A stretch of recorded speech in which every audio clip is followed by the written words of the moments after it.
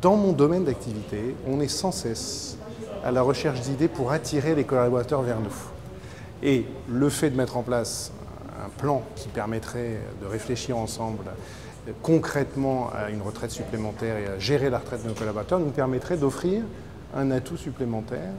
euh, pour attirer euh, des candidats vers nous. Et c'est vrai qu'au fil du temps, on noue avec les collaborateurs qui sont proches, les principaux cadres de l'entreprise, des liens qui fait qu'on a aussi envie de leur rendre ce service et de les aider à préparer leur retraite au mieux.